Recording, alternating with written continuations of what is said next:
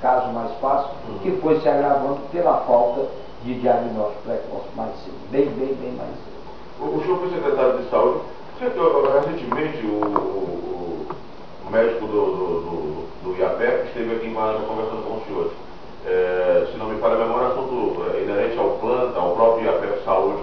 Por que, que em Teresina os hospitais, clínicas e médicos brigam para ter o convênio do IAPEP, brigam para ter o convênio com o planta? Este é o que a gente ouve falar e já, já, já. E aqui em Parnaíba a coisa está tá minha mona, acanhada, não, não quero mais não, não, eu não vou receber. Lógico que é falta de pagamento, por que isso? Não, não é falta de pagamento. Eu acho que eu, burro eu não sou. Os hospitais de Parnaíba também, ninguém, não dos seus gestores, são burros. O que acontece é o seguinte, você sabe quando foi feito o último credenciamento de médicos aqui? Eu acho que do governo Monsanto. De lá para cá não se credenciou mais nenhum médico. Segundo, eh, as diárias são totalmente diferenciadas, bem mais aqui daquilo que faz. Terceiro, o atraso, que me parece que isso houve, digamos, com maior intensidade para a região do interior do que para a capital. E terceiro, é, digamos, é, é, um corte, você faz um procedimento, tinha um auditor aqui, doutor Abreu, doutor Abreu ia, auditava, e, digamos, indistintamente, sem razões, sem motivações, digamos, se uma conta era 100 reais, eles cortavam 50 reais. E se pagava uma conta 50 reais. E o que foi que foi dito pelo representante do IAPE? O que ficou acertado é que as contas agora são sistema online, eles vão credenciar, nós pedimos indistintamente em todos os partidos políticos, nós pedimos que eles credenciassem todos os médicos da Paraíba, todos os serviços da, de, eh, de laboratório e tudo, porque o credenciado é uma procura espontânea. Você vai aquele que você quer, aquele que você acha que é o melhor e que lhe convém. E segundo, que houve um, que existisse, digamos, um maior diálogo e uma transparência mais clara daquilo que foi cortado em relação às contas apresentadas. Certo? E eles antecipadamente a isso, eles nos forneceram, digamos, já uma tabela devidamente atualizada em sistema online daquilo que a gente pode cobrar. Tende a melhorar? Acredito que sim. Inclusive, ele, mesmo com atraso, mesmo com essas dificuldades, nós damos um voto de confiança de todos os hospitais de Parnaíba estão atendendo indistintamente aos pacientes e até do plano. Ah, eu gostaria de saber do senhor o que significa SUS interno no seu peixe. SUS interno. SUS interno, SUS é o sistema único. Saúde. Interno, digamos, seria a própria é, gerenciamento dentro aqui da nossa Doutor Paulo, deixa eu falar de política com o senhor. É, você foi vereador dessa cidade, mais votado, concorreu à eleição de prefeito, uma eleição é, muito atípica na época, com então candidato também o Monsanto. É, depois o senhor é, foi vice na chapa do saudoso Alferraz. Enfim, você militou na política de forma direta ou indireta, vem militando na política aí há décadas. E agora, ah, no PMDB ainda, o seu nome começa a surgir como uma opção para 2012. Me conta essa história. Cara, eu vejo as coisas de uma maneira, cada coisa no seu tempo. Eu fui numa época que ser candidato a gente ia para marcar posição, não era que ia ganhar. Nós fomos candidatos a vice do professor Paulo, porque tinha necessidade da Parnaíba participar daquela chapa. Nós somos candidatos contra o então é, prefeito Monsanto, porque naquela época nós entendíamos que ele não poderia mais, nós fazíamos o mesmo grupo, e entendíamos que ele não podia mais estar ligado ao governador, então o Cid Portela e Freitas Neto. Haja visto que eles prometiam eternamente resolver esse problema da saúde do Estado e daqui da região, e eles não conseguiram resolver, prometendo inclusive é, Secretaria de Saúde, outras coisas enfim, e os compromissos nada eram feitos.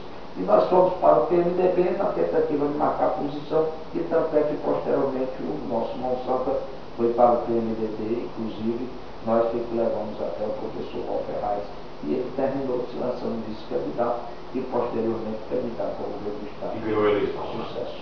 Ganhou a eleição então, e administrou administrou por Dormanato. Então, é, política faz parte do dia a dia da gente, certo? Eu agradeço aqueles que tocam no nome da gente, isso é normal, isso é natural.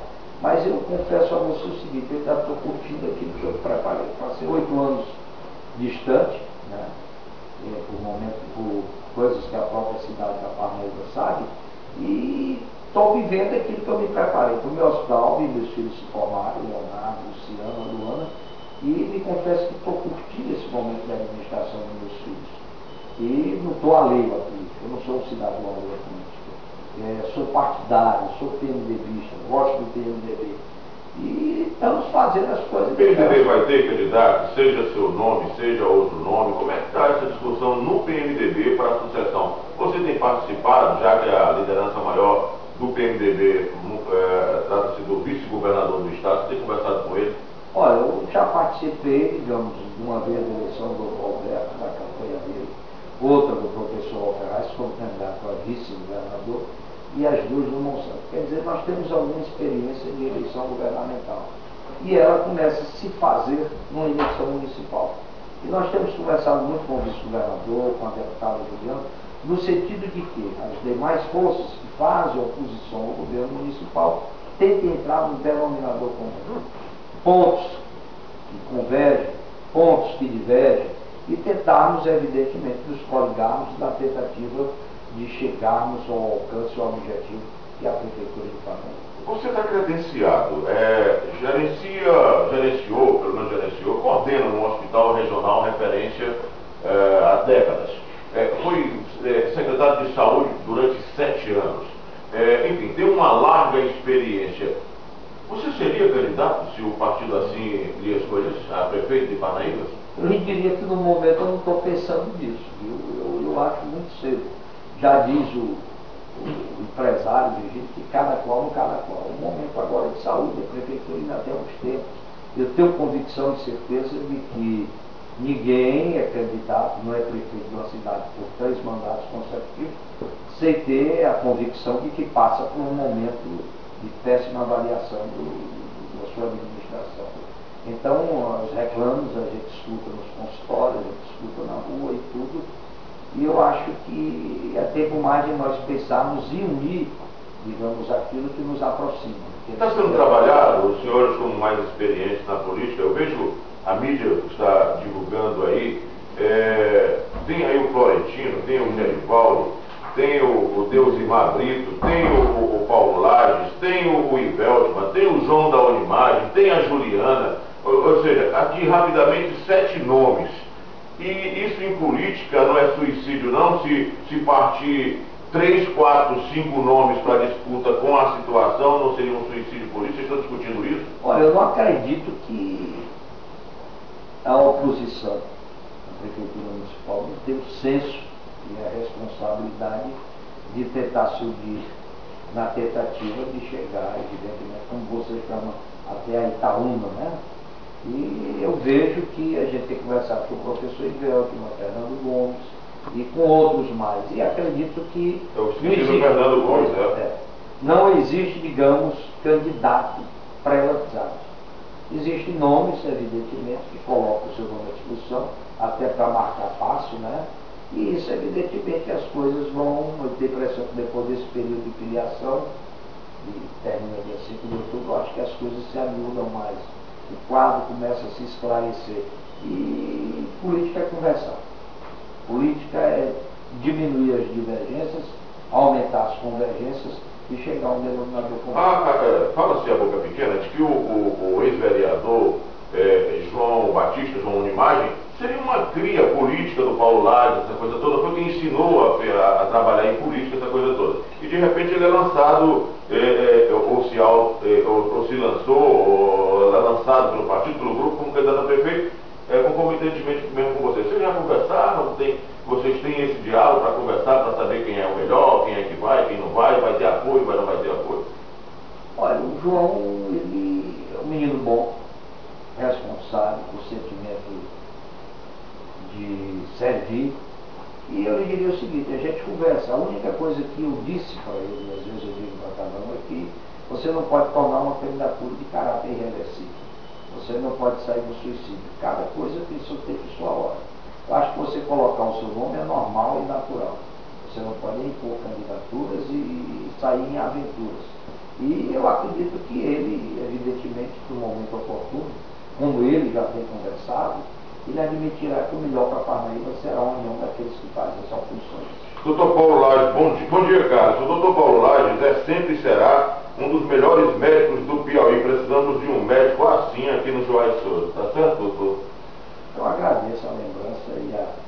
Eu agradeço a sua vinda ao nosso programa, não é? E, é, espero poder vir, é, espero poder vir outras vezes, mas antes de, de terminarmos a nossa entrevista, respeito o ciclista, nós estamos, o senhor como médico da área tem visto aí inúmeros acidentes né, a, a provocados no trânsito é, como vítima ciclista do adesivo do bloco do Pessoa e a nossa caneca que está fazendo muito sucesso e que você viu não vai dizer para ninguém o que nós nesse momento estamos bebendo, né? Caneca do blog do Pessoa, tá certo? Que é dois anos, mais de 2 milhões de acessos, o maior do Piauí e um dos maiores do Nordeste. Eu agradeço isso aqui, incentivo naquilo que a gente puder participar da campanha. É importante e parabenizo você pelos 2 milhões de acessos.